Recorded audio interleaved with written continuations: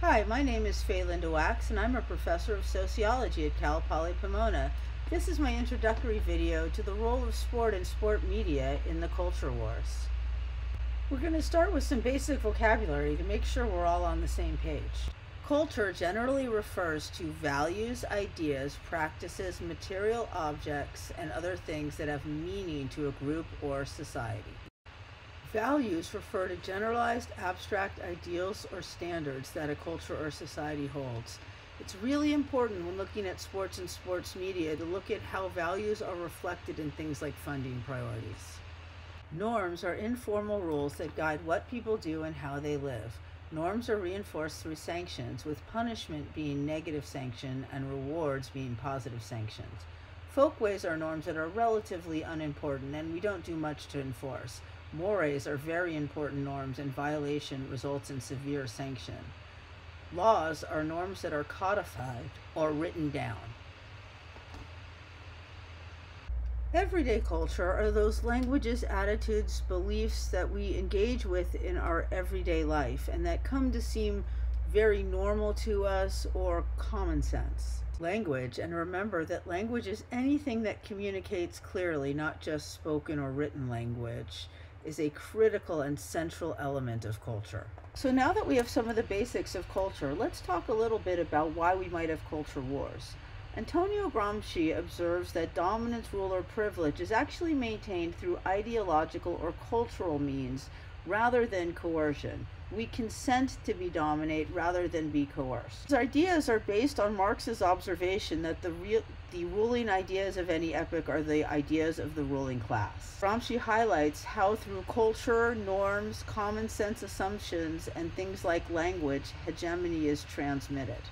When we argue about symbols, we're actually arguing about cultural hegemony. What are the fundamental understandings about our society, about how things work? And there are important implications here about regarding power and privilege. Hegemony is not static. Culture changes. But it's very important to remember that change is not inherently progressive. I'm always reminded of the Margaret Atwood quote better never means better for everyone, it always means worse for some. In our current situation with cultural hegemony, it generally means better for those with the power to control ideological production rather than the most vulnerable. The culture wars are our battles over these ideological differences materialized as specific issues. They're often framed as traditional or conservative versus liberal or progressive, but it's very important to consider the role hegemony shapes in who has access to the field of play. Sports is a microcosm of society and a critical field of cultural production, so not surprisingly, we see the culture wars play out on the field of sports. There's been a lot of compelling research done on the different ways that sport has contributed to cultural hegemony, whether it's gender, sex, and patriarchy, the ideological production of docile workers and consumers, racial stratification, militarism, indoctrination for minoritized groups, non white, immigrant, native, and indigenous peoples, among others, or heterosexism. Sport has been a key place where ideologies have been produced and circulated. Having a space where ideologies are produced, though, also allows you a space where ideologies can be contested as well. In referring to female athletes, Michael Messner referred to sports as contested ideological terrain, and in the culture wars, that's true on many different key social issues.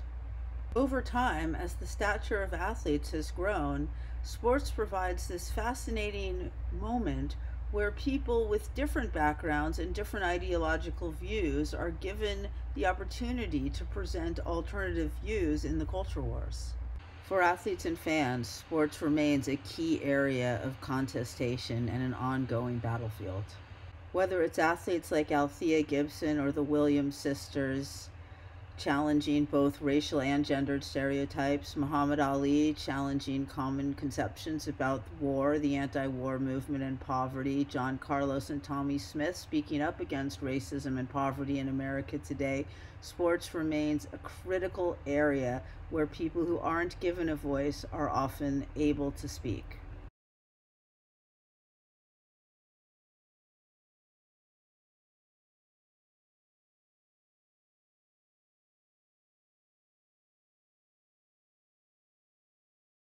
Same time, institutions push back.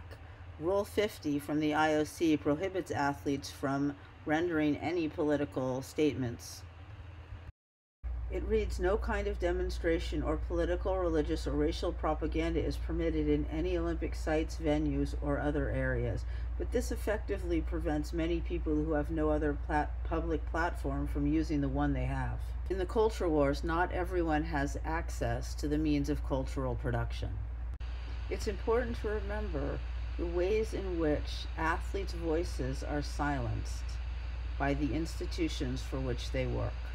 Recent critical culture war moments include obviously Colin Kaepernick's ongoing protest against racial injustice and the prison industrial complex. In addition, women's soccer's ongoing fight for pay equity has been a critical moment as well. Looking at the ways different stakeholders use traditional and new forms of media in these ongoing culture wars within and throughout the larger social world and sports is going to be a fascinating area of study. It's important to remember, though, that while culture wars contest, they tend to contest within the system.